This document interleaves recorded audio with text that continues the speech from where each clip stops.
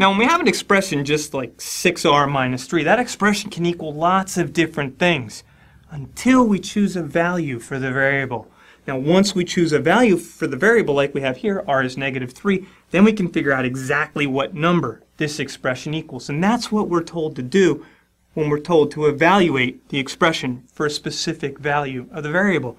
Now, the first step, of course, is to take that value and put it in for the variable. All we're doing here is substituting.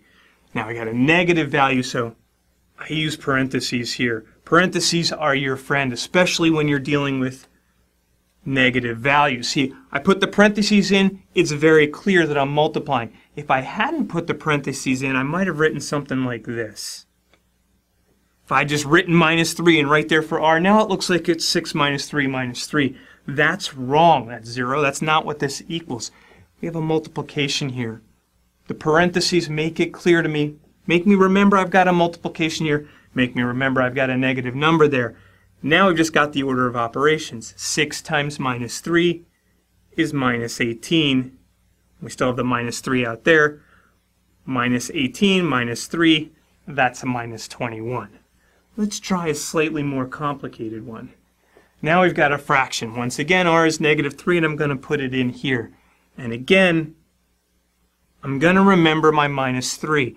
Very important to remember that, because then I realize it's the negative 3 that's being cubed. It's not just the 3 that's being cubed, it's the whole negative 3 that's being cubed.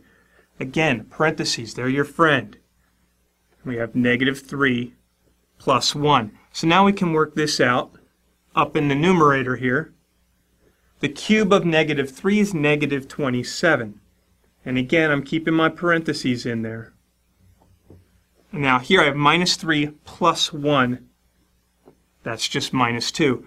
Now up here in the numerator, I have 5 minus a negative 27. That's 5 plus 27, which gives me 32, and I'm still dividing by negative 2, and that gives me negative 16.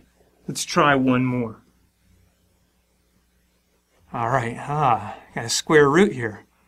All right, same thing as before. I just take the value and I substitute it in everywhere the variable is.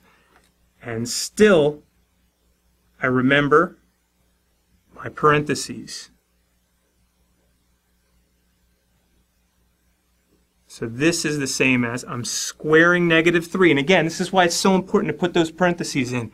If I had just written down minus 3 squared, I might think that's minus 9. That's not what we want here. We want to square the negative 3. That gives me 9. Then I have minus 7 times minus 3 plus 21 minus 5. 9 plus 21 is 30, minus the 5 gives us 25, and of course the square root of 25 is 5, and we're done.